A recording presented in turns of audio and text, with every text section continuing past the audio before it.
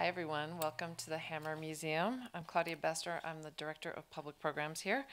Welcome to today's talk called Creative Resistance for the Win with Nadine Bloch and Juman Abujbara uh, from Beautiful Trouble.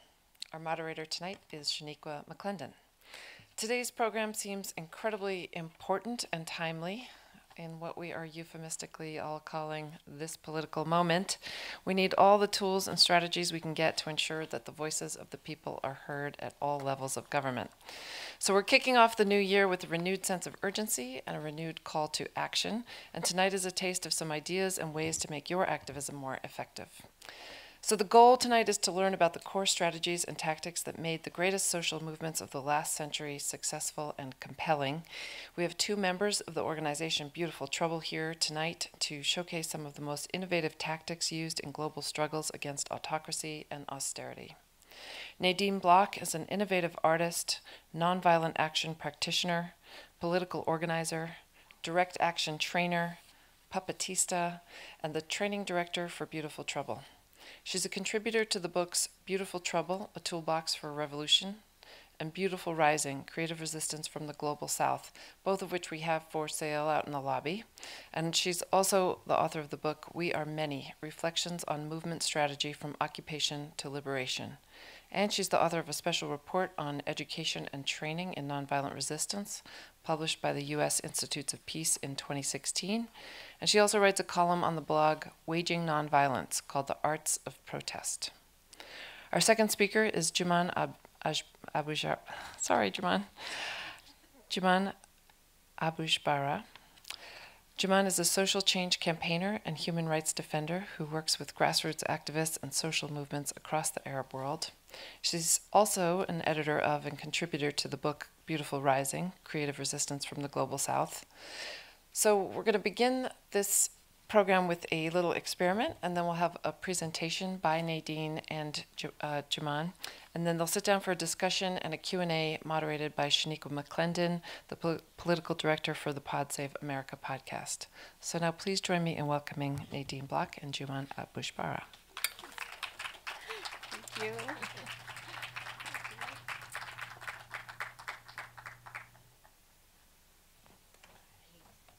Well, good evening. Thank you for joining us tonight. My name is Nadine Bloch. Hi, uh, everyone. Thank you for coming here uh, tonight. We're glad to be with you. I'm Juman. We'll just take a moment. I see people are a little spread out, but we wanted to hear from you first because at Beautiful Trouble, we're extremely uh, dedicated and enamored of interaction and of basing the work that we do in lived experience and our our knowledge of the world. So um, it would be great if you can take a minute and think to yourself right now, and then I'll tell you what to do next. When you hear uh, creativity for the win, or when you hear beautiful trouble, what does it mean to you? What comes up? Is it some kind of activism? Is it some historical example of something? Is it something that you participated in yourself? And uh, when you have that idea, it will take about 30 seconds or so to, to think about it. It's nothing too uh, elaborate or deep, right? Everybody's got something in mind, which helped encourage them to come here tonight. Then uh, meet somebody close to you. Turn around, meet your neighbor in some way, introduce yourself, say hello, and then share the idea that you had. What is beautiful trouble to you? Um, what, what comes to mind? And then we're going to hear a little bit from you to start off tonight's work. All right? So feel free to get up and get closer to someone, meet someone, and take a moment and share an idea about what beautiful trouble is. You can turn around, you can talk to somebody next to you. All right? Take a minute. We encourage you. What is beautiful trouble to you?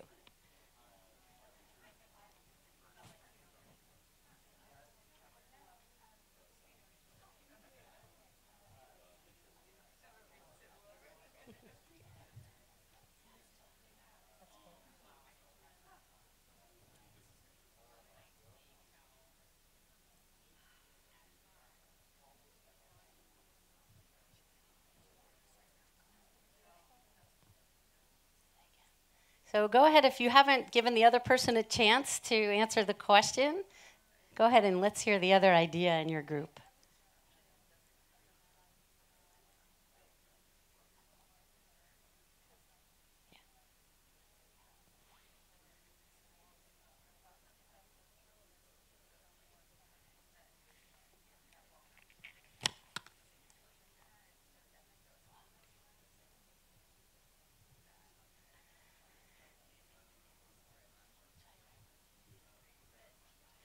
Great. So go ahead and finish up whatever your thought is about Beautiful Trouble, whatever you're sharing with your partner.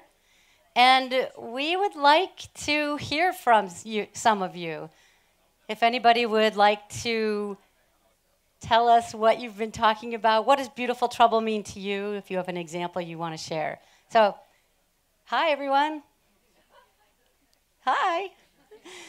Anybody in the audience like to share a little vignette or something that you've been talking about? What does beautiful trouble mean to you? Anybody have an example or story that you want to share quickly with us? We'll bring a mic to you. Don't be shy. Oh, look, way up there, we have someone. Excellent. And who's going to be the second person so we know where to go to get our mic ready? Hello. Oh. Check, check, check. Hi. One, two, sibilance. Um, my name is Michael. I recently moved here to Los Angeles. And uh, last year I did a 555 mile bike ride. And uh, Beautiful Trouble to me was doing this uh, very gruesome, active activity. Uh, that was the that was actually uh, kind of the beauty of it on the PCH overlooking the ocean. And then uh, the trouble is, well, this was for the uh, the life cycle, the the AIDS Foundation uh, that kills lives ev- every year, um, and so this was kind of a, a, a beautiful way to do something great for the community. I was with uh, 2,500 cyclists, and it was um, very lovely. So thanks for letting me share. Thank you, Michael. So, the story about the AIDS ride. Have anybody in the audience done anything like a ride or a trek, a walk, uh, some kind of group mobile activity? Excellent. Yeah, that's a really great example. Thank you so much. And we have another person ready to share something. Hello? Oh, okay, cool. Um, my name is Remo. I'm a student at UCLA here. And at first, I mean, the reason why I wanted, I wanted to come to this event, I guess, is because I was hoping that Beautiful Trouble sort of meant like a different way to subvert the order. But thinking about it a little bit more, I actually have an example from when I was back home with my friends. And one of my friends had recently discovered an abandoned office building. And we decided to explore it as curious teenagers. And inside, on all the walls, every single wall is covered in graffiti. And I think that would be kind of an interesting take on the idea of beautiful trouble that these people are troublemakers, but they're creating something that's really worth looking at. Thank you. Yeah, really nice. Great idea. So we'll take it maybe another one or two. If anybody wants to share, we've got one right here. Who's the next one? Who, who will be our fourth person? We've got one down here too. Great. Go ahead. Uh, I'm Turin, and I am a public school teacher, and we're on the eve of a strike. And there's a lot of trouble, and um, it doesn't uh, look like good trouble to me. Um, I've been a teacher for 31 years, and it never seems to change. So I, I'd like it to be more beautiful trouble. Thank you. So, uh, how about eh, just as a general question for this group, how many people in this auditorium have ever participated in a strike with other people of any kind? Oh, yeah, look, so there's some experience here. And I think building on that experience, there probably are ways that we can think about how to make it more beautiful and uh, how to work towards the world that we want. So that's great. Thanks for bringing that in. Yeah, we have one more. So um, the Prince of Saudi Arabia was coming to the United States, and we knew that he was bombing kids in Yemen, which is really horrible and ugly. So we dressed up as princesses and went and protested wherever he was, saying there's nothing charming about this prince. Very nice, right? And how many people have done some kind of street? I would I would call it street theater or costume resistance. Anybody in this audience done that? Yeah, excellent. Very much accessible to our work that we do. So I just just wanted to. Uh, anybody else burning to share something that they were thinking about? Well, we really thank you for stepping into this and sharing your stories and meeting some of the people who are here with you tonight. We are now going to transition to a slideshow to tell you a little bit about what we mean when we say beautiful trouble and a little bit about our work um, in, the wor- in the world or the universe of beautiful trouble. Great. Um, well, just to pick up on where things have uh, ended, um, the idea of Beautiful Trouble kind of came together after people who uh, have been involved in uh, similar inspiring stories like the four we heard here in this room or ideas um, artists activists who came together and decided to write this book and at the beginning the thought was it's going to be just this one book but now we have a full suite of platforms that we're, oh, we're going to talk about later um, at the end of the slideshow. And um, yeah so basically um, the main observation was that we noticed from whether our own involvements or uh, from uh, the involvements of those around us that uh, groups tend to generally jump into their tactics because that's the fun thing to do. It's great. We're angry. We want to do a demonstration. Da da da. But really, why are we doing this? And these kind of questions that frame the broader strategy is kind of what Beautiful Trouble is about. And if you look at this um, uh, pyramid over here, uh, where are tactics uh, located? And they are, oh, I'm sorry, we, we seem to have lost um, the big screen behind us, but it's okay. So basically, the idea is that you have the vision at the top of the pyramid, right? And and that's uh, the tactics is one of the ways that you can actually go um, uh, up that pyramid. And uh, without without a strategy, the tactics is just going to be a tactic where it's not going to be able to deliver on what we actually want. Um, and this is where the super uh, power, if you want, um, uh, the superpower of uh, Beautiful Trouble lies is in the analysis. And we discovered that we can take a story, pretty much like the ones we've heard tonight, and tease them out, kind of understand what tactics have been used, what principles have been used, and the theories and the methodologies that make up the story, and really identify tools and lessons that these movements or campaigns learned, and also um, identify factors that led to their success. And to make this uh, less abstract, I think we're going to um, yeah uh, hear some examples from each of these modules tonight, and then hopefully discuss them in more details later with Shaniqua. Excellent. All right, so we're just going to jump right in. Is that all right? Yeah, let's go. Here we go. So right away we have something, we have theories. When you talk about uh, activism and you get people to tell their stories about what they've done or what they've heard about, um, then you can actually take these stories apart and figure out what made them work or what made them miserable failures. So, one thing that we've identified is action logic. And the essential element of action logic is that your action should be able to, to tell the story almost in one picture. There should be a photo you can take that makes sense. And in this case, you look, there's two great examples here. Anybody recognize either one of them? What do you see? Anybody? Right. So um, the bottom, the one on the bottom is Bree Newsom in South Carolina, a young black woman taking down the Confederate flag from in front of the state building in South Carolina.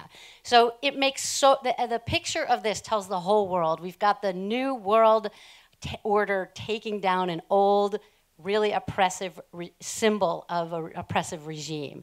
And the one at the top is something that happened just this uh, just last week in India, where some of you might be aware that the Supreme Court in India ruled that women should have access to shrines, even though his, historically tr- religious traditions have banned women of menstruating age from certain shrines.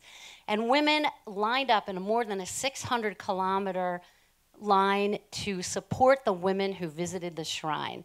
So the picture itself shows the power of ordinary people taking action.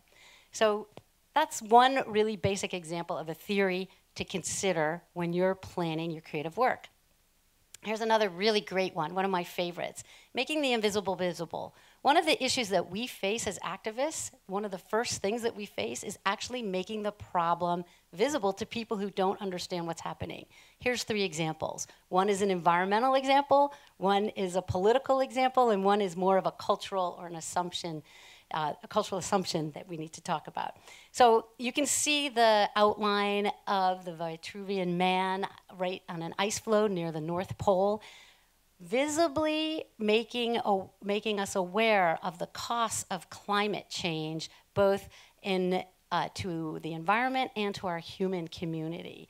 The one on the bottom is making visible the political and uh, human costs of an extractive banking industry that has made people homeless because of bad loans. This happens to be a picture of someone who was made homeless by this bank in Spain. So making it public who is suffering at the hands of the banking industry. And of course, the one at the top, people recognize the Guerrilla Girls acting with incredible humor to expose assumptions that women, and particularly women of color, do not have um, adequate representation in uh, traditional art galleries. And this uh, was a very effective campaign and increased the percentage of people, women particularly, who were shown in the galleries in New York um, in a pretty short period of time. So one of this is a really important principle for activists. Here's another one, using cultural assets. This is the idea that we often need to be very cognizant of what we can bring to the table. If you're a community that dances, you can use dance. If you're a community that uses food in a particular way, if you're a community that's language or other traditional rituals are important, use them in your work because it will make you more powerful and more coherent activists. This example here is in Estonia, the singing revolution. The culture of Estonia is based on communal singing, and they use this to resist Soviet invasion. Kind of sounds amazing, doesn't it? It, it was amazing, and it made them able to maintain their nonviolent discipline and to do actions together in extremely powerful ways. Really great, great movie out, The Singing Revolution. Here's another fabulous one to think about a principle whereby we want to make sure that there's no good option for our opponent to take when we do something. And the small picture, everybody must recognize Gandhi on the Salt March, the quintessential decision dilemma action. By marching to the sea, Gandhi made it impossible, basically, for the Brits to do something correct. If they let him march to the sea, then people knew about it, people joined him, and the movement grew, and they looked weak because they couldn't stop him if they crushed this march to the sea, then they were exposing the vicious underbelly of the Raj. And that's exactly why they let them march, not knowing what to do. And that served their community really well, the, the Gandhian community. The one at the top is what we call an, uh, un, an involuntary walkathon. This happened in a part of Germany, Bavaria, where neo fascists would march every year and they couldn't get them to stop. And so what they did, the people who didn't want the neo-fascists there, was to make it a walkathon, and people pledged money for every meter that the neo-fascists walked. And that money went to fund Exit Deutschland, a community group that helped people leave the neo-fascist organizing. And so they raised 10,000 uh, I forget, dollars or whatever it was in that one march that they had that one year. And they continued to do things like this. So it was a really fun day. They made it look like fun. That pink banner says, if only the Fuhrer knew what you were doing? Raising money to uh, get people out of these fascist groups. So it was really, really very um, effective. And another thing, we talked a little bit about culture jamming, uh, using cultural assets, but culture jamming is taking popular culture and, and moving it to another place. And in particular, um, it could be also using the media. We call it media hacking. But uh, people recognize these costumes? The handmaid costumes, right, from a book written um, in 1984, but now a TV show. And so a lot, another generation knows about the handmaids and the dystopic future that they lived in in the United States, where a religious regime takes over um, the country and strips women of their rights.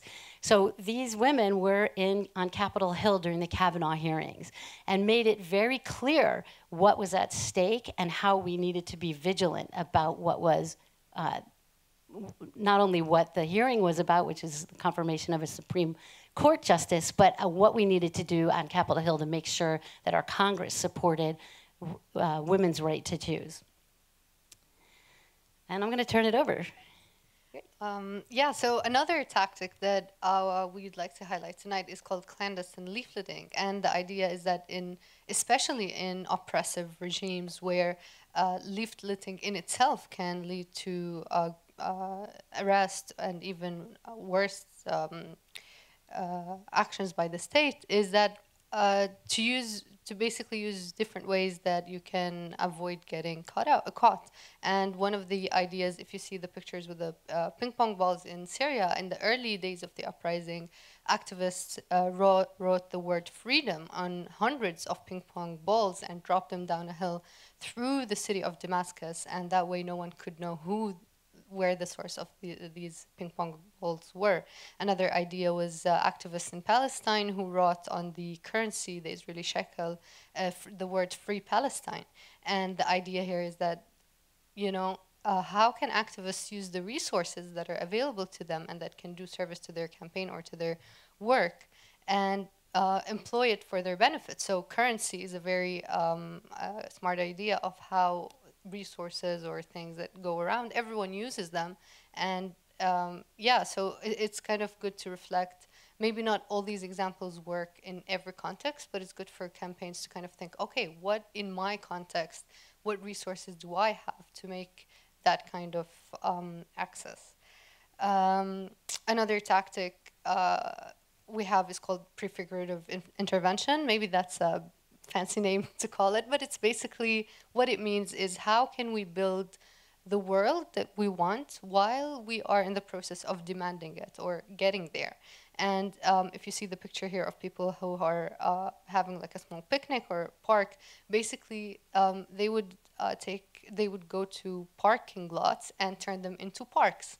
And uh, it happens on an like an, an annual uh, day for action uh, to demand uh, or pre uh, prefigure basically greener spaces in the city.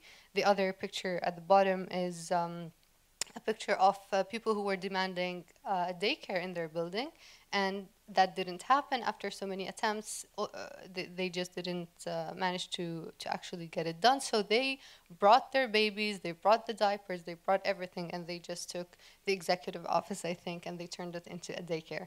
And that way they kind of um, made what they wanted materialize in a very real way. Um, methodologies, that's like the final um, or the fifth module in our toolkit.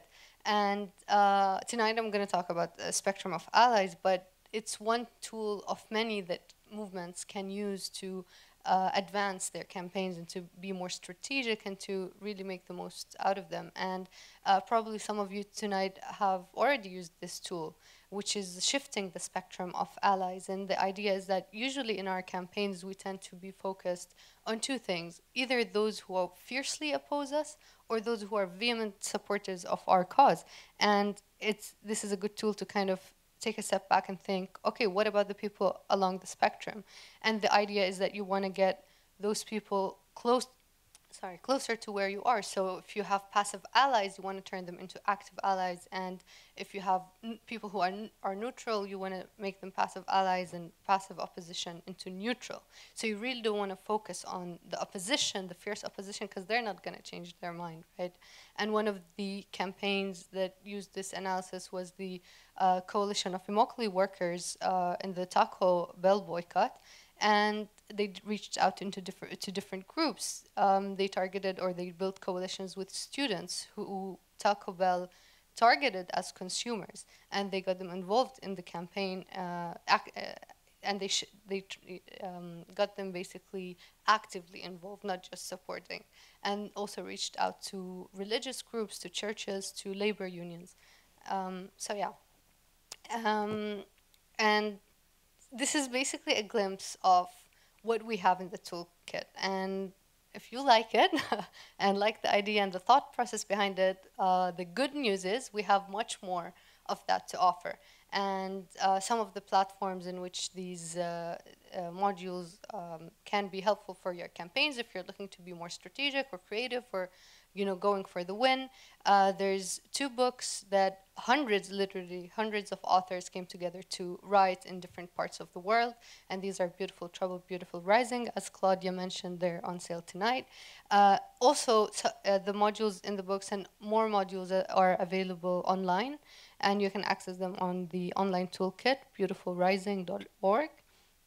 Um, we also try to find other ways to access people who have uh, especially more probably in the global south who have limited access to internet and this is why or or who have uh, a lot of censorship. So we've used the chat bot that you can download on uh, telegram and kind of have a chat with this bot to kind of learn more about the about the tools. Uh, we have a fun card deck that you can use in your um, meetings to kind of make this thought process more fun. And last but not least, we have jam sessions and trainings. Uh, actually, there's one happening uh, this weekend here in LA, starting tomorrow for three days.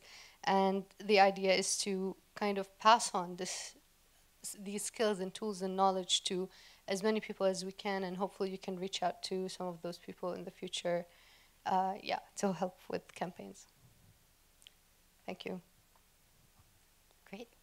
So that's that slideshow overview part of our um, evening, and then we're now looking forward to taking questions and having a conversation.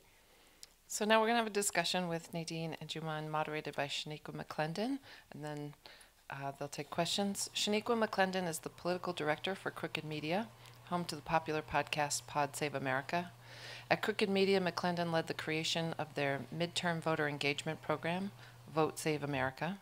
She's a graduate of UNC Chapel Hill and the Harvard Kennedy School of Government, where she earned her master's in public policy. During her studies, she also worked at Facebook on their politics and government outreach team. Prior to graduate school, McClendon served in various capacities on Capitol Hill, starting off as an intern in the Obama administration, and then she was a staff assistant for Senator Kay Hagan and went on to serve as legislative director for Congresswoman Alma S. Adams. Given that her focus is on political and civic engagement to ensure that the best candidates become lawmakers who are equipped to improve our country, we thought she'd be a great person to ask our guest speakers about how creative activism can work in synergy with more traditional mainstream politics to build a more just world. So please join me in welcoming Shaniqua McClendon. Thanks, everyone, and thanks for joining us today. Um, and thank both of you for being here. Um, I've spent my whole career in politics, but after 2016, I saw a lot more people interested in, in getting involved and not just voting, but figuring out like what do we do in the meantime. Um, so I think this is a great conversation to kind of give people what they need, especially as we get toward a really big election in a couple of years. Um, so during the presentation, well, and Beautiful Trouble generally, um, is focused on the role that artists and creative activism plays in activism generally. Could you speak a little bit about why it's specifically important for artists to be involved in activism and for them to use creative activism as they engage in it? Want me to start? Um, so, uh, I mean, the role of art, artists in activism. I, I'm an artist, actually, myself. So there's a couple of pieces though that I think are really critical. Uh, in our world, for whatever reason, artists are often the holders or the presenters of vision. So I mean that's one really big piece of it. So we have whether you're a right, uh, if you, I often don't use. I should back up even. I often don't use the word artist. Just I talk about being a cultural worker. Um, because when we say artist, mostly people think about writing, drawing, dancing, you know, classical arts. And I think more about, and I, we even mentioned in the slideshow a little bit about making sure that you know your cultural terrain, making sure that you understand where your where your base is and what you bring to the table. So uh, on the bigger picture, we often find artists or creatives or cultural workers holding vision for where we could be, how we could be a better society, how we bring our community to a new place. We also often look to artists and cultural workers to help us define who we are. I mean, even you know, developing logos and coming out with memes and things like that. It's important for those of us who are building community, who are building movement, who are building organizations to be able to identify ourselves and each other, and artists can really help with that. And um, I mean, there, and there's many other reasons. Like it makes it more fun. It makes it more interesting. People want to come to a dance or a party, and they don't necessarily want to come to a lecture or you know whatever. There's a lot of things people don't want to do, but there's a way to if you can bring your foods into it, if you can have music, it really uh, helps build people and inspire them to continue to work. And that is another thing too. I mean, it, for the long haul, it really is helpful. And I'll add one more thing. you know, this art, the traditional arts can also be a way that you can fund your movement. Um, and you can do things like there's not, um, there's a great story about resistance in Chile and the women who sewed arpilleras, which are these little uh, tapestries that were sewn to document what was happening in Chile, number one. But number two, they could get them out of the country to tell people the stories of what were happening. And number three, they could sell them and actually make money to feed their families during this work. So it's sort of a beautiful way to talk about the whole of spectrum of how art can be, art and culture work can be involved. Just a quick follow up on that for someone who's watching or maybe here today who's not um, a culture worker or cultural worker. How can they take? Um, what can they take away from the tools that you've presented today uh, to be effective in their activism? Um, yeah, I mean, there, there's a lot of tools out there uh, in the toolkit to kind of help with uh, making it more creative. But I guess uh, some of the ones that I really like is um, one of the principles is don't dress like a protester. And this uh, coming from you know a hardcore kind of activist political background is kind of, you stop at such a principle and you think to yourself, oh you know that's uh, that's true perhaps in a certain setting i might want to dress in a different way to grab a, a different audience's attention and um, you know speak uh, speak to something that they could relate to. And this is very true also for art because art, when artists and activists kind of come together on a particular issue issue um, they can reach to a wider audience. Some people um, are more influenced by uh, big names, pop stars, act, actors, and if we can get uh, some of these people involved or at least to be vocal about one's campaigns, that would be really helpful to kind of attract the attention of the audience that you don't, that is not hearing, um, that is not hearing what you say. And and speaking of audience, another principle that is really useful is um, speak to the audience that's not there. Sometimes we think of the space that's around us and we think it's the center of the world, but it's not. So, how can we really make our actions speak broader and beyond the physical space that, that we're in? Yeah. Um, and either of you can answer this, but Juman, during the presentation, you talked about people kind of running into tactics and not thinking about a vision or a mission before they jump into their activism. And there are, I, I think you could look at Brett Kavanaugh. We didn't know Dr. Christine Ford Blasey was going to come out um, with her story, and even Trump being elected. We, no one knew he was going to be elected. So when things happen and you just kind of have to activate very quickly, what are things that you can do beforehand to just kind of anticipate those, or can you anticipate those, and um, just just so that you can fill in those gaps that you talked about? Yeah, for sure. I guess um, one of the first things is to ask. Well, it, it's basically one sentence. It's a theory of change, but to kind of ask yourself a, a key question: What are the um, keys that are going to open this particular door for me to go through?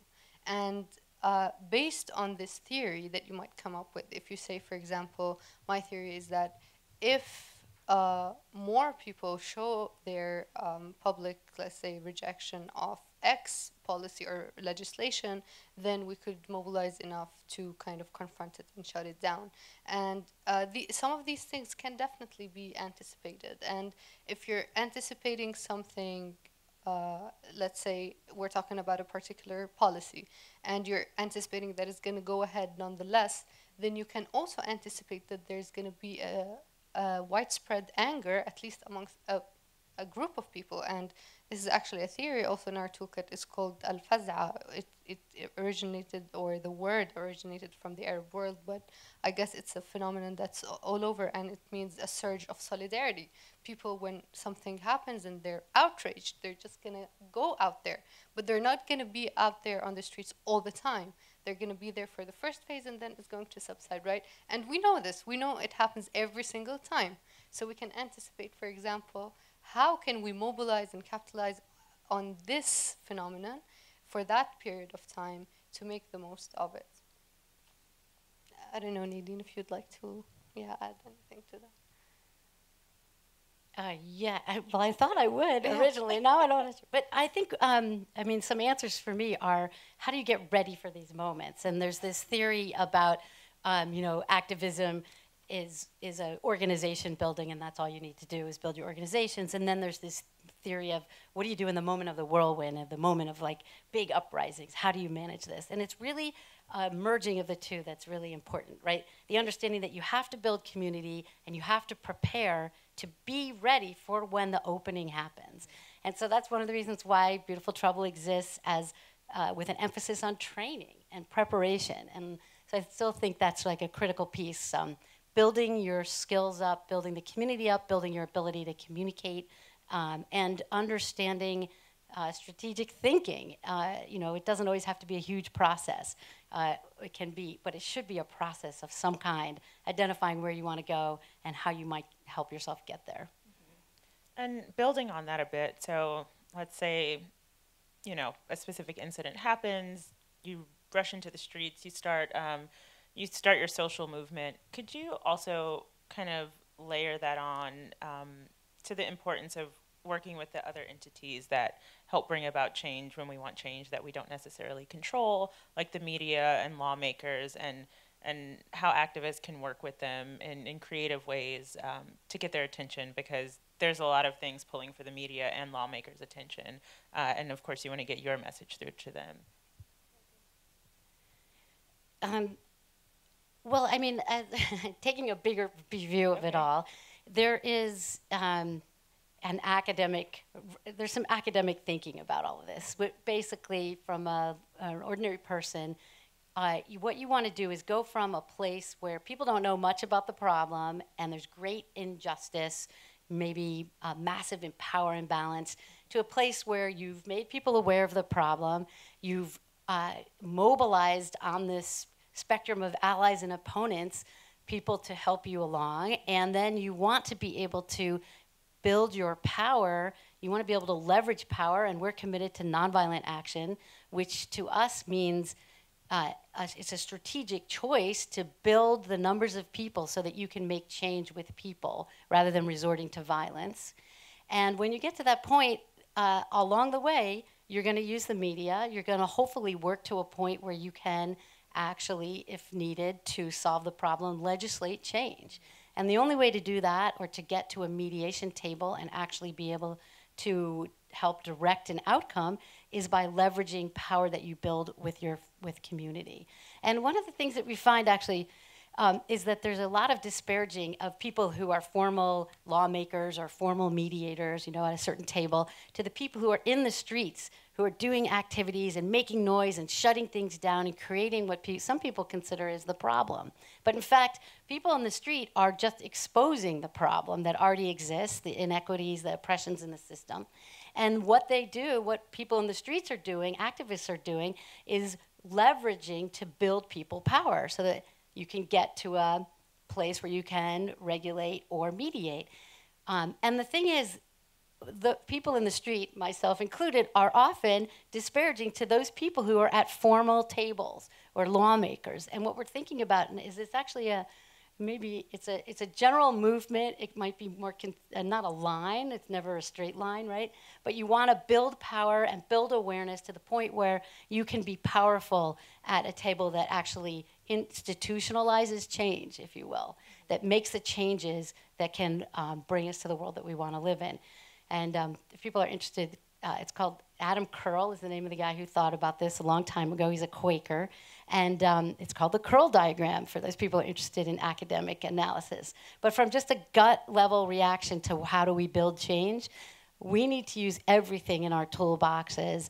And the trick is to know when to do which things, when to do which, which strategies, and when to do which tactics to support those strategies.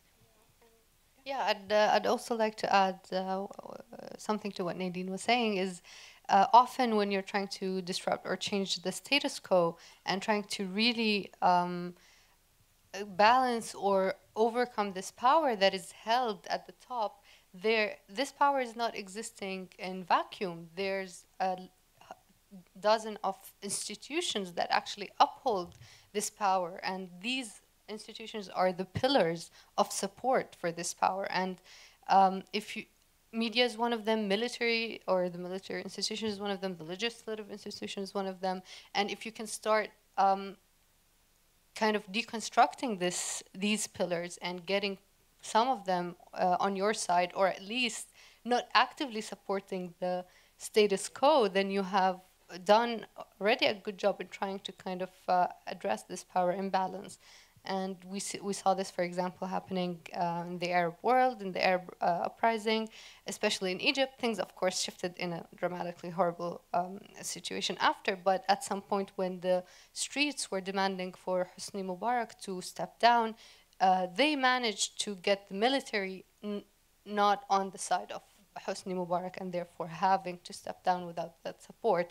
But then now we see what the military regime is up to in Egypt, which is really horrible. Well, this, this is maybe we'll go a little further with this one because we have this tool in our toolbox. It's called the Pillars of Power or the Pillars of Support. And um, many people draw it just as a little building with pillars and try to figure out what's holding up the regime, which goes at the top, at the roof. But the interesting piece for me is that, first of all, you don't want to drive the pillars in towards the roof, in towards the building. What you want to do is pull the pillars away. If you drive them in towards the building, the roof will sort of come down, but it won't actually fall all the way down. So it's a visualization of what we're trying to do. And the thing is, the pillars, if you think about it three dimensionally, they're also made up of us. They're made up of people. And it allows us to understand how we get inside those pillars, the institutions that are holding up the regime or the problem we're trying to change.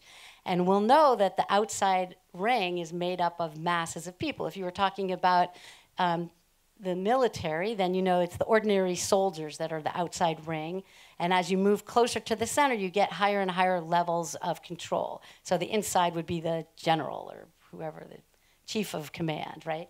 And if you are looking at media or you're looking at um, the legislative bodies or you're looking at schools, uh, again, the power is inside that pillar, but we have access to that power by analyzing who the circles are around it. And so it's, it's a combination. And it's a perfect, the Egyptian example is a perfect example of what happened when the street activists refused to go to the table to negotiate, thinking that it wouldn't be productive. In that vacuum, we saw people step in that undid all of the gains of the street protesters. And um, I actually have talked to some of the people who were the street activists who would not make that mistake again but they didn't have that understanding of what was going on in the moment. Um, so it's really, really a fascinating way to think about protests. Um, okay, well, just to tag on to what you just said about not making that mistake again, could you talk a little bit about why it's important after you engage in maybe a spontaneous form um, of action to then sit back and go back and reflect on whatever steps you took to see, you know, was this impactful? Should we do it differently next time? Yeah, I mean, uh, for sure. I, I, guess one of the m- key and most instrumental practices, I guess, that uh, we have learned from this uh, reflective yeah. to, uh, toolbox is that uh, no matter what the outcome of your campaign is, uh, reflection is a crucial part to kind of really have the time to step back, to look at what you've done wrong, what you've done right, why did it work, what were the circumstances surrounding it, and if you were to kind of um, generalize some kind of learnings or tips that you would give, give to a future generation or to someone who was doing a similar campaign in another context, what would these lessons be? And uh, I, I, I guess if movements and campaigns don't actually engage in this practice, um, they're going to end up being stuck in their own heads and and kind of not being critical enough of what it actually takes to uh, to make that change. On the one hand but also on the other hand is uh, sometimes people say oh if it works why fix it? Uh, fix it to become more efficient to become more creative to become more effective. And uh, so even if things work out well there's there's something more that can be done more effectively. And one of the um, uh, uh, tools that I like in our toolbox, it says don't fall in love with your tactics. And you know, sometimes we often find that, yeah, we've done this tactic, it really worked, it was a big hit, we managed to, you know, um, cross some milestones. And then we come to try it again and we're like, oh, it's not working. Why? Well, because we shouldn't fall in love with our tactics, sorry, tactics, and just keep uh, reflecting to make things more effective. Yeah. Were you going to add anything? I mean, the, the big question is like mis- always about mistakes, right? The big question is always about mistakes. Like, what do you do? What are they? Wh- How can you overcome them? Sometimes we can't help it. it's true. I mean, I do think that one of the big things is not including culture, not being aware of where we are and how we're operating. Um, you know, and in the in the United States, particularly right now, we have to address oppressions and uh, biases and prejudices that actually get in the way of being able to move outside of our comfort zone or move outside of the insular communities that we work with. And it's not just in the US, it's everywhere. If we don't actually, you know, nonviolent action and Beautiful Trouble is successful because we have ever increasing numbers of people involved in our resistance movements. And if we don't deal with some of the oppressions and some of the if we are, are reinforcing the problems within our current society rather than transforming them into something else, into something better that undoes racism, homophobia, sexism, ageism, and we could go on, capitalism. We could go on and on, and we still won't end up with a society that serves everyone. And so, like, this is a big mistake in the sense of like, we need to do the analysis of why things worked, why people came, why they didn't come, how do we overcome some of these problems and um, and, and that will help us with our strategy overall. Uh, so just shifting gears a little, and um, then we'll open it up to audience questions um, after just two more questions I have. Um, so I don't know if, well, yeah, I don't know if you've followed this at all lately, um, but there's Lifetime did a documentary on R. Kelly, surviving R. Kelly for all of his um, the children. He, that he, um, you know, he's a predator for all the um, young women that he's abused in various different ways. And, um, you know, when I was going through, listening to the slide deck and going through the presentation even yesterday, I started to think about how do, so we want to make problems visible, invisible problems visible, but sometimes the oppressed group is invisible themselves. And so, how can people in that invisible space make their um, whatever oppression they're facing very visible. And adding on to that, um, you talked also about passive allies. And so sometimes passive allies don't always know, like, they can't see this problem.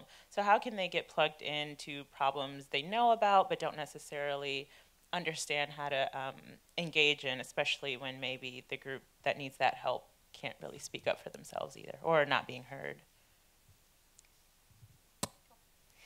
Um, yeah, I think this is a this is like a sixty-four billion dollar question, um, and uh, I think uh, there we have to in some ways. I guess there's there's a lot of different things. One is supporting the putting in place the support structures that would allow impacted communities to be able to speak out, right?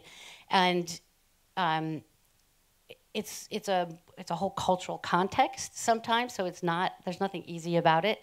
Um, and helping you know, when we do workshops and trainings and education, helping people who do have privilege or who are removed from the core of the impacted communities uh, can be extraordinarily effective.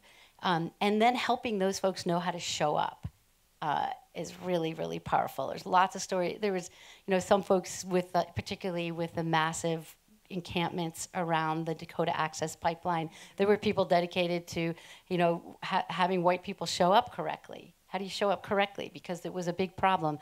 We, particularly because you were living there. But we know in urban centers, and I live in Washington D.C. This is L.A. We know that that is a, a big problem in activist communities. How do people show up and be appropriate in where they are taking action?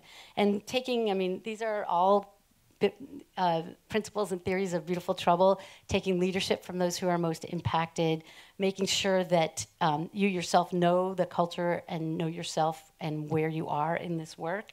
And um, I think there is a piece too about reimagining who your allies could be um, and who could help you in what way.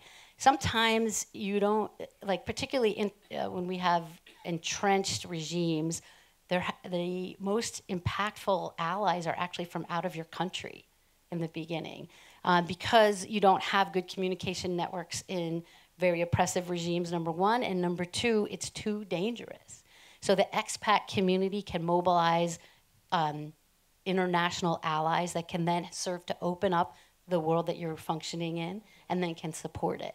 So in some ways, when we're talking um, about, you know, abuse scandals here in this country of particular groups, young women, young men within the church. The, there's lots of things. Like it often takes support structures being put place or exposures happening outside of the community to empower those people to come out and believe in a way that they will have support when they do. And then it also potentially helps other people imagine what does the, the spectrum of um, allyship look like and how they can be there. Yeah, and to address the second part of your question, building also on what Nadine said about taking leadership from the most impacted, is on how to engage or plug in those passive allies. And um, really, the key here is to have a clear call to action. If you're a campaign thinking, how can I most effectively get those who are passive allies to join the streets and do something, or not necessarily the streets, it could be anywhere, and uh, do something for the campaign, is to have a very clear call to action. So, for example, we know that we know that on Monday the teachers' strike is gonna, uh, you know, be launched. So um, there, there's there are so many uh, possibilities that we can be involved in this strike, even if we're not teachers or even parents of uh, school kids. There are so many ways to plug in, and always for campaigns to keep in mind that yeah, let's communicate uh, a number of options that can be done uh, without confusion and um, clear about why this particular action is so important to the overall strategy, I think. And this is my last question, and then I'll open it up to the audience. Um, so, another thing touched on in the presentation um, was prefigurative intervention.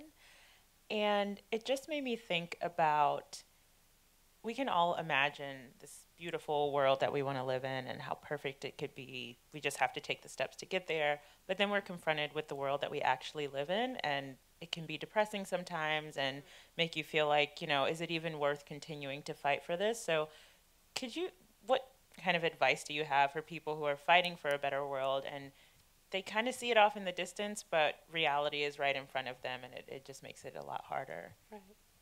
Um, well, I'll add my, my bit, and I'm sure Nadine would also have her advice. But I guess one of the first things that crossed my mind is really take care of yourself and of others in terms of emotional and mental well being. Because it can, as you say, it can be really devastating if we don't take care of ourselves and of each other, and to kind of um, because this passion is so strong, sometimes you end up working on something 24 hours, seven days a week, all year long. And really, that's not what the movement needs, although that's where the passion come from, com comes from. Uh, the movement really needs people who are, um, uh, you know, who can uh, eat properly, sleep properly, do all these kind of you know basic well-beings that we tend to forget really so that's one number two i would say is to um, not I, for me personally, at least this was a lesson, is not to give into the romanticism of an idea or not. It's not binary and it's not, you know, um, either or. There's so, always going to be something that we want to work on to improve.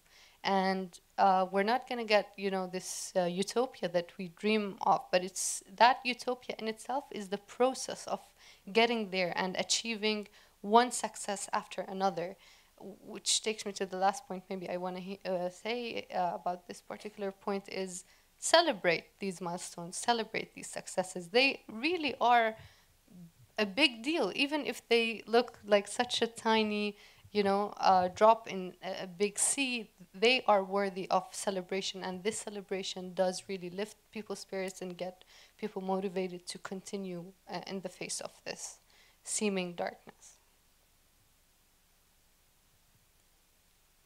Okay.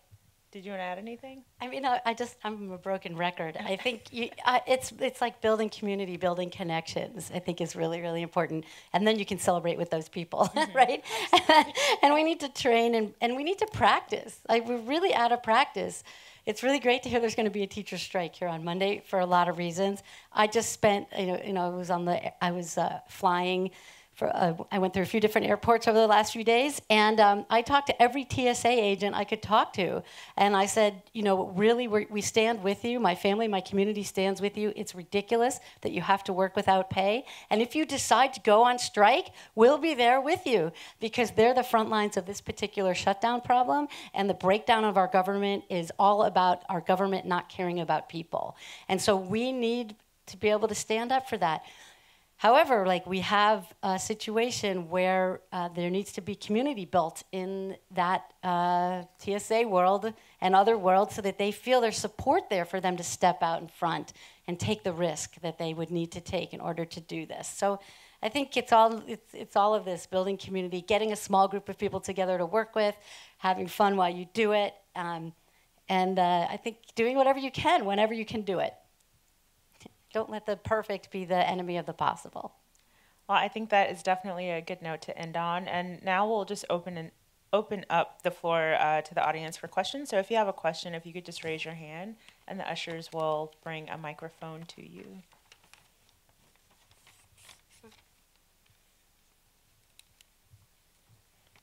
Don't be shy, you're all actors.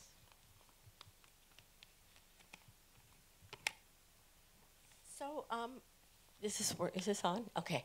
Um, what do you think about social media um, in organizing? I mean, I'm just thinking about this Saudi young girl I'm reading about who was unknown, and in like two days through social media, the whole world knows about her, and um, it just seems so effective to get the word out and.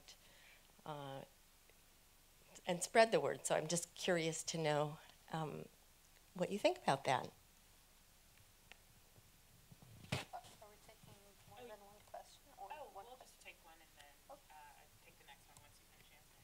Sure. I mean, I, I guess um, for sure, this day and age with the technology gives a wide access of uh, different means of disseminating information that no longer flows from top to bottom. It's actually the opposite. And uh, we really do encourage activists to try and use all the tools they have available, including uh, social media. And in certain circumstances, like the one you're describing, in uh, oppress is particularly under oppressive regimes.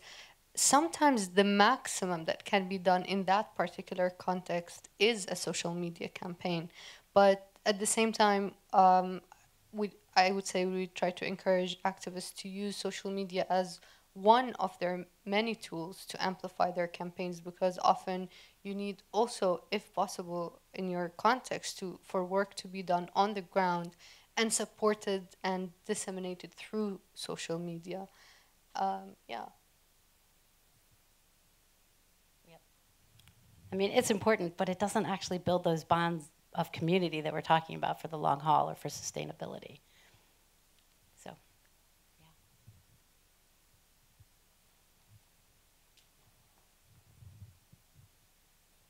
Yeah, if anybody wants to ask questions about any of the pictures that we showed, feel free to do that too. Hello, another. Okay. Another social media kind of question, something that's I've become aware of in the last uh, year. Uh, haven't really heard discussed. If you have comments, I'd love to hear them. It's uh, it would be found. Uh, I find it on YouTube under the heading First Amendment Audit and I don't know if you're aware of that. It's uh, it's something that it's a direct action that happens in public, and um, I think it might be uh, of interest to people who are pursuing this topic, and I don't know how widely or not it's uh, uh been noticed. I don't know. It's it seems that uh, maybe you have not uh, happened onto that part of the uh, internet yet.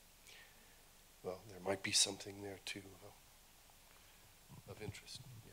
So is this is this a, a First Amendment audit where somebody's keeping track of what violations are happening? It's uh, kind of like uh, performance art, but uh, it's a real uh, pro. Uh, uh, it's it's an assertion by demon by by practice and demonstration from a public space to be aware and of uh, through documentation through a cell phone or other somewhat more elaborate camera simply to document. It is very um, incendiary.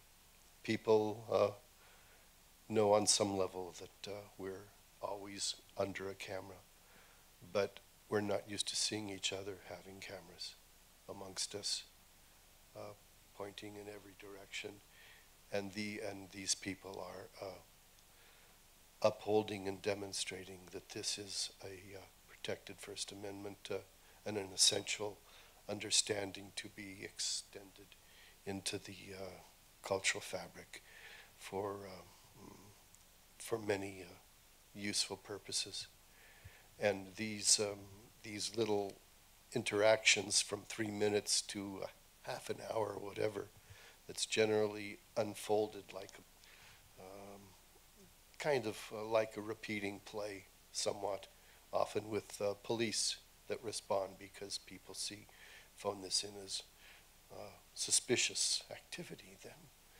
Uh, the interaction between the activist and the police gets very much involved with uh, who's following uh, what category of legal understanding. It's almost like a game of bridge, but it's serious because people get arrested, etc. And it's just a lot of the nitty gritty of uh, uh, where the you know of of of uh, in a direct way asserting uh, essential um, um, protected activities as basic as documentation. Okay. So people might want to just check out First Amendment activities, First Amendment audits. That's Thank you.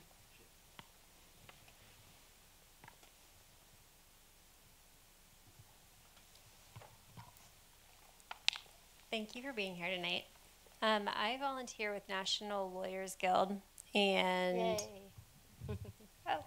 I find that a lot of the events that they have that they're requesting legal observers um, take place during business hours. And my question is when a lot of movement and activism is needed during business hours, um, but I think in particular in California, but I think everywhere in this moment, um, I, I feel afraid to to operate to protest during business hours because I'll lose my own job. Like, how do we mobilize and what creative approaches do you have to make meaningful movements that are outside of business hours or that so that people don't feel constrained, so that I don't feel constrained by business hours? Yeah, this is this is good. There's a there's a lot there. So first of all, thank you for being part of the National Lawyers Guild. Thank you uh, for being a really valuable resource to our community. For people who don't know, the National Lawyers Guild is a collection of lawyers who are very progressive or liberal, depending uh, on the guild um, location, I guess, in the U.S. But we've found that they are often pro bono uh, attorneys for activists and very helpful in that regard really have appreciated working with NLG people all over the country. Um, I think one of the questions here sort of uh, is around risk. It's not just about being an NLG or a, a, lawyer, but it's about how do we address the risk that's out there and how do we judge how much risk we want to take as activists or how do we ameliorate and deal with some of it. And we're in this political moment that we are talking about. Uh, we are all being called to the best of our abilities to figure out how we can up our risk level to make real change. We're in this position right now because people have not been fully engaged, I would say, in their civic and civil responsibilities. And what we need to do is figure out how to create the structures that will enable more of us to take greater risks. It doesn't mean that everyone has to risk the same things or the same level of things, but that each of us needs to figure out what the next level of risk is that we can take. And we need to build in our communities the support structures to help people do that. And whether it's through training to help people be more comfortable with what they might face, or whether it is building a fund to support people who are incarcerated while they're not making money so that they can we can pay for their family to eat rather than for paying them to get out of jail, which is a whole nother conversation. These are really critical questions. And um, I will say about business hours, we need to actually disrupt business as usual. Business as usual is not being very good for most of us at this moment. Like, where it's really in, we we can't just go along with what's happening right now. And so we have to figure out how we can continue to say no build the alternatives out of the ashes while we're saying no and support each other to take greater risks while doing it. Um, and if particular individuals cannot take greater risks it's up to other people to figure out how to move that forward um, and if we aren't doing, I mean, one of my big complaints is like, we can't just have another march on a weekend. No, it, you know, it's a way that I say it, it justifies whoa, well, everything's working fine. Like we have a problem. Look, people have marched. Everything's fine. We have this problem. People have marched. Everything's fine. And nothing actually shifts. And so we have to disrupt what is happening. So in this normal way, this because it's not normal, it's business as usual, it's not working for the majority of the people here or across the world, and we need to be able to move past that.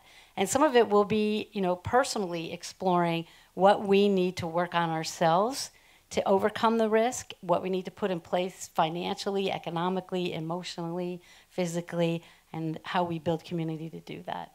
Um, and you know we still need people who are barred who are lawyers and can re represent us so we don't want all the lawyers to lose their jobs that's not what i'm suggesting but that um, uh, as a community and as activists, we need to be able to uh, be discerning about how we, we engage and what risks we do take. I'm also not saying that everybody should run out and you know do something and get yourself arrested. Like that's not necessarily strategic, right? So how do we you know look at resources and the flows of flow of resources and connections and leveraging ever greater numbers of people to make real change? No. Um, as far as marches, how effective, in particular in the United States, do you think that traditional march is? Or does it require today a higher degree of creativity, whether it's the costume or, or something? How effective is the traditional march? Okay, okay, audience. Do you think it, the, how, do, how, well, let me, is, are, is marching effective? There we go, right?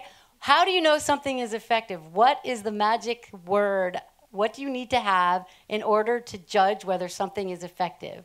It begins with a G. Woohoo! We have a we have a pinch hitter. We have a goal, right? You have to have a goal. So I always talk about this, you know, in the sense of particularly in property destruction, this is a really good way to think about it. So if you're an activist and you're an activist on corporate globalization and you want to take out, you know, the World Bank or the IMF or something like that, the International Monetary Fund, and you decide that you're going to target a corporation to do this. And you go to your favorite coffee shop window and you get a brick and you throw the brick through the window. Um, was that effective at ending corporate globalization? Why not? Did it change? Because it didn't change corporate, right? Well, you did. Maybe you broke the window, right? If you went out there and you got, if you got a brick and you went out there and you threw the brick through a window and the window broke, were you effective? If you wanted to break the window, you were effective. Yeah, that was really good. But other than that, you didn't bring down the corporate industrial complex by breaking a window, right? Um, unless your goal was to break the window, you weren't effective. But on the other hand, if you have a march and your goal is to show people that there is a growing resistance movement, that there are thousands or millions of people who care about this issue, and you and thousands or millions of people show up, were you effective? Yeah, totally. But if your goal was to like uh, stage a coup or bring down the government, and all these people showed up, but the government didn't come down because that and that was your goal, were you effective? No. And we are in a position right now in our country where uh, we the normal operating procedures are not necessarily working in a timeline that's appropriate. That's a, that's actually okay. Like too many people are hurting and being hurt on the border, in our communities, whether we're talking about immigration policies, gun control policies, uh, you know, sexual violence. Can, you know, we we are not in a position right now where simply marching will deliver what we need at the timeline we need it. It's not that you shouldn't march, right? It, we might need to march because we might need to build the knowledge. We might need to make sure that people know and meet each other to build community. As long as we know what the goals are for marching, it can deliver on those goals. But if we say we're going to hold a march and it's going to bring down the government, it's not working right now in the regime that we have. Does anyone else? Uh, looks like we have a question there.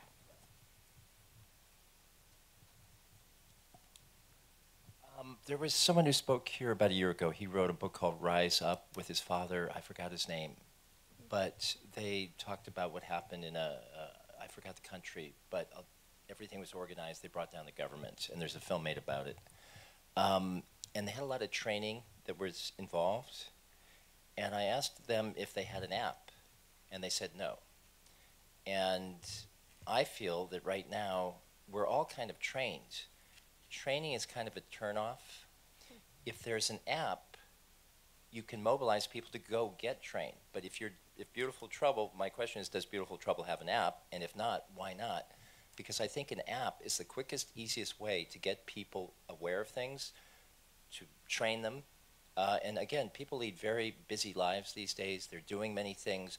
To go somewhere and train, they're already familiar with civil rights and all these things. If you can just create an app and put it on someone's phone, I think that's the most effective way to get people up and doing things and directed and uh, engaged.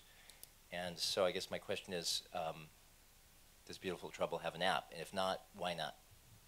You mean a training app? You mean an app for training? What, an, an app for activism. Uh, like, uh, you know, just an app. If it's, I feel if it's not an app these days, it's not going to be effective. Because everybody is using apps, especially young people. And if Beautiful Trouble has an app, it's like, oh, cool, an app oh, there's a session over here, a talk, a this or that. That's the first step. And if you're not doing anything without an app, I feel it's not going to work.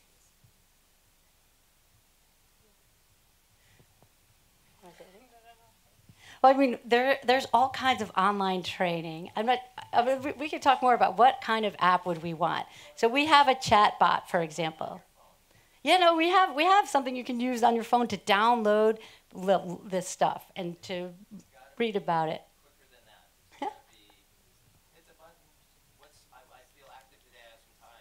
Ah. Yeah. So it's basically, I guess, uh, what you're trying to say is not only to make it accessible by phone, like mobile view, but actually to have uh, to go to the uh, app store and download it right uh, off your. Yeah. No, that's it. For sure. Yeah, yeah. yeah. Yeah, no, that's a that's a cool idea. Yeah, for sure.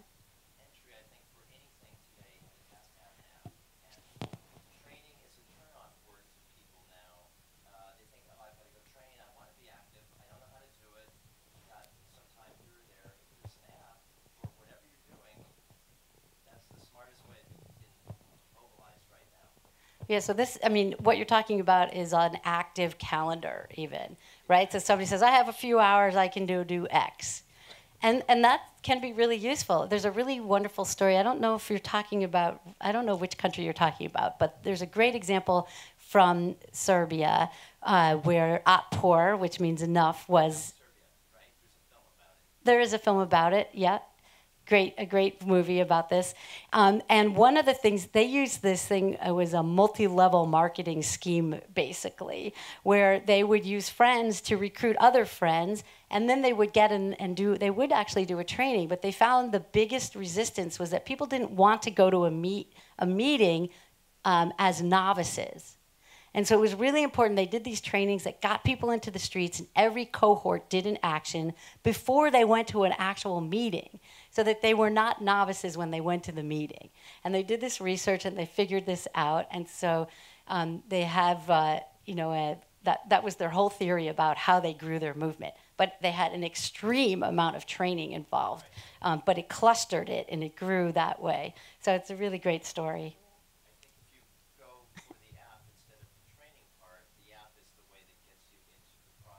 Mm. I, I, yeah. I, yeah, I mean, I guess each one does serve uh, a great purpose, and I don't think they're mutually exclusive. In fact, each uh, each program will have its uh, particular target audience and deliver certain, uh, let's say, outcomes or deliverables that you want to get out of. Uh, uh, so I guess, like, I think the training is definitely important for those who are seeking that particular kind of skill and tool and also the app is really important for those who are looking for an alternative so yeah Are there any activist apps at all?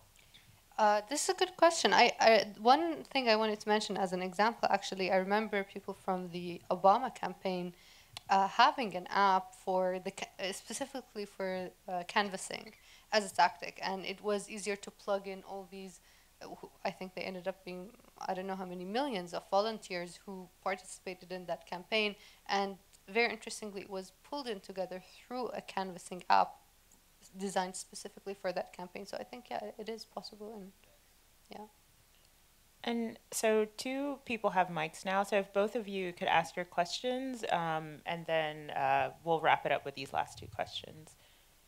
Cool. Um, so just as like actually a follow up to that, um, as a young person, I think not only is the the the idea of like a training a turnoff, but also the idea of downloading an app even seems like a bit of work. But do you have like I, I mean yeah, we're lazy I guess, but do you have like some sort of like group messaging system like because with an app too they would have to be developing it and they would have to work out the bugs for it and you would need a lot of people. Yeah, it would take a really long time to develop a functional app.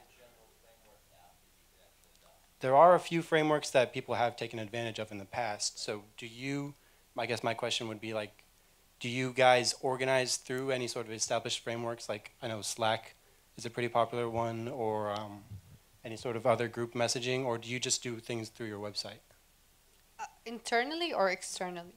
I guess when you're when you're trying to organize, like do you so so for example do you have like a framework for for what he's talking about with like hey i'm angry about this. Is there something going on in my area? Like what can i do about it?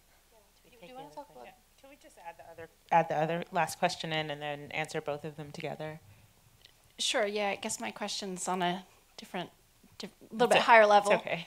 Uh, so you're called beautiful trouble and i think one of the things that attracted me and brought me in today is that you obviously have an insight that communication is really important, whether that's visual communication, whether that's some kind of call to action, and like the, the kind of creative idea behind that call to action or that piece of communication, getting people excited about or aware or you know of the issue at hand and, and ready to do something. And it just seems like you guys that's something that's a little bit unique about your approach and I wanted to hear from you about how important you think that is and how you came to that as kind of part of your your approach and strategy.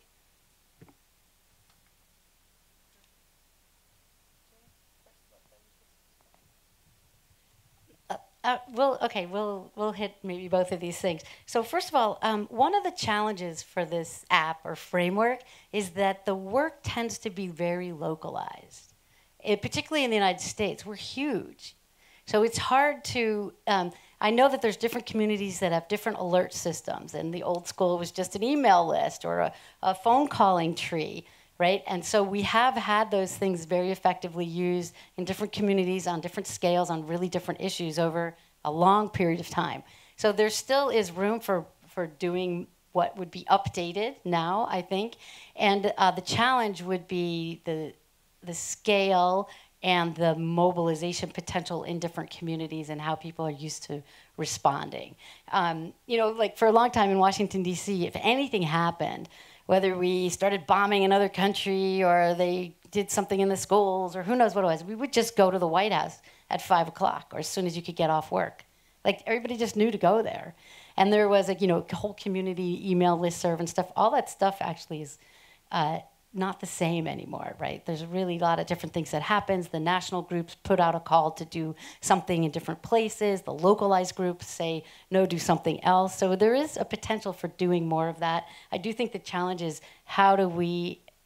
I mean, in smaller countries like Serbia or other places, there was a way to or localize the response that made sense on their national level, level. But here, the national callouts and the local callouts would be really, really different potentially. So it's something to think about. Um, and uh, there are also ways that we've talked about, and some of us do use bots to answer the most common questions, for example, that come into organizations about what to do or how to go places. So that is also being used, I think, somewhat effectively, depending. And then there are other resources. Um, there are all kinds of action networks and um, listings of places to go to look for activity. So if you're a member of, you know, a big one of the big national groups, uh, whether it's Move On or Planned Parenthood or NARAL, you could go someplace and find out if there's something planned. But unless you opt in to get something sent to your email or your phone number, you won't get that otherwise, which is an interesting thing. So there's lots of things to play with. I, I appreciate the tech thinking about it. Um, and um, yeah, so I'll let you say something. yeah, no, I just wanted to um, uh, to comment on a few things on how really crucial it is for social movements to revolutionize the way that they organize, and that definitely includes uh, technology as part of it. But also, I feel at the same time, it's important to realize for us in individually and collectively if there's something that we really care. There are so many issues out there, right? And sometimes you feel like, oh my God, I care about the environment, I care about the housing issue, I care about all these issues. And we really can't invest all our energy in every single issue, right? And that's where this technology comes in that you can plug in uh, and do your bit on all the on like these uh, great number of issues but there i feel that there are some issues that call upon their own constituencies to be fully out there, not only through an app, not through messaging, not through um, only social media, but to actually go out there and to to do something with other people. And uh, yeah, there's a there's a tricky line to be drawn between our use of technology and how to maximize our uh, efficacy in uh, in using it, but at the same time how much effort we put in in bringing the communities closer and build and really doing uh, movement building work that on the long run uh, will pay off all that hard work instead of just you know um, plugging in where people can. I don't know if that makes sense but kind of just the balance between the convenience and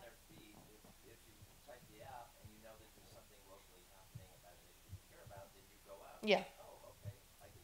I, I fully agree with you. Yeah.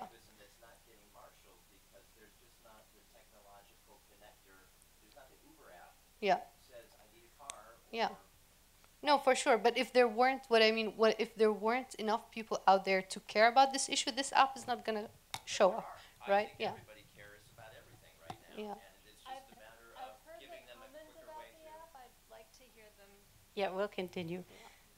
And yeah, there was this other thing uh, I wanted to mention, and it kind of links also to the question that um, you asked. Sorry, I, I didn't catch your name.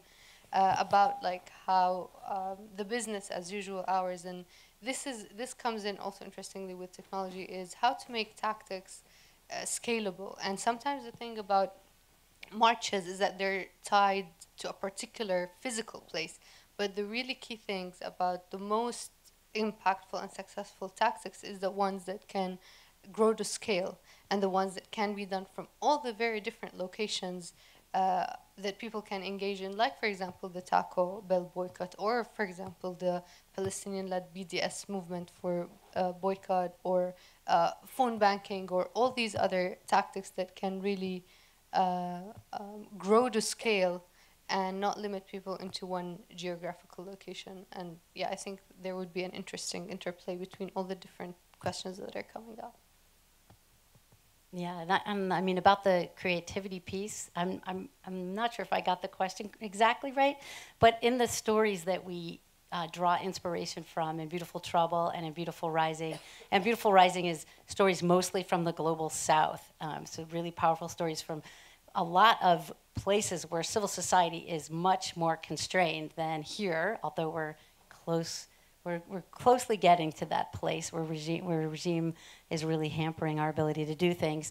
Um, is you know to think about all of these creative stories. So uh, we find that um, you know resistance movement in um, Brazil, where the government wanted to shut down a couple hundred schools and bus people to smaller to schooling to, to shut down schools to save money to you know make smaller uh, bigger schools and, and uh, but a lot fewer schools caused the students to basically say no this isn't going to be okay and they shut the schools down and then put in place the schooling that they wanted.